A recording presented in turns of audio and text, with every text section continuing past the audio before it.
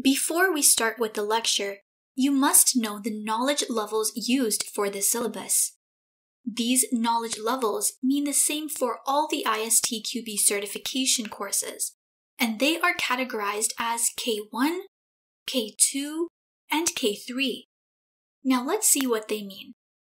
K1 is level 1, which means remember. Here, the candidate will recognize, remember, and recall a term or concept.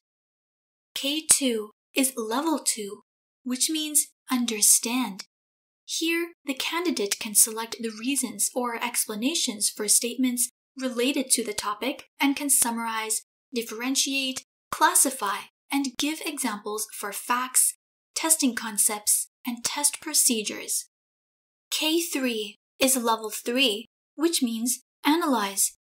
Here, the candidate can select the correct application of a concept or technique and apply it to a given context.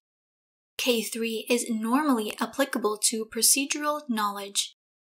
So, in simple terms, just remember K1 means you need to remember the points and the question will be direct.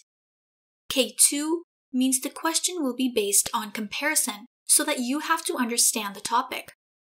K3 means application based questions. Here, you have to understand the concept and then apply it on the asked question. You need lots of practice to answer such a question.